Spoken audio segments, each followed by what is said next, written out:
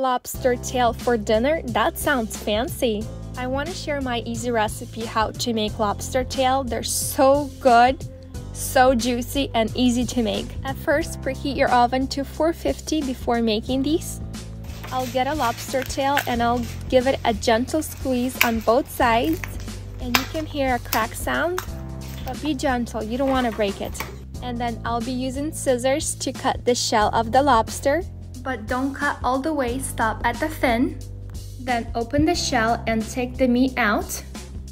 So first I will separate the meat from the shell on both sides and then I'll pull it out.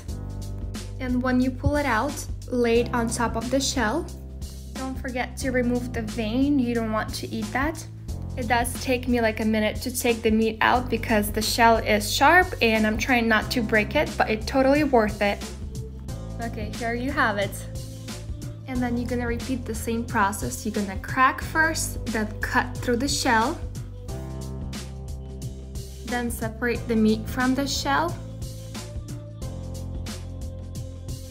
Pull the meat out, remove the vein and lay the meat on top of the shell.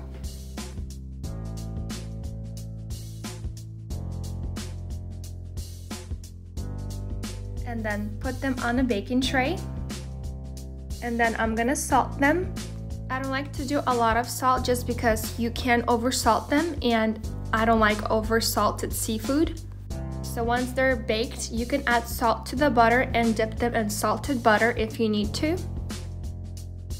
And then I'm using dry garlic powder. Garlic combines with seafood very well, so I'm gonna be generous with that. And then I'll add some paprika on top. And sprinkling some dry dill on top. I have about one tablespoon of butter, melted butter, and I'm brushing on top of each lobster tail. So you want to really get the butter everywhere. You want to have a lot of butter, so be very generous. Butter will make the lobster tail to stay juicy. Lobster tail cannot be standing in room temperature for a long time, so your oven should be hot and they should go in the oven right away. Bake them at 450 for about 16 minutes and this is how they will look. I melted about one tablespoon of butter and I'm brushing it on top of each lobster tail.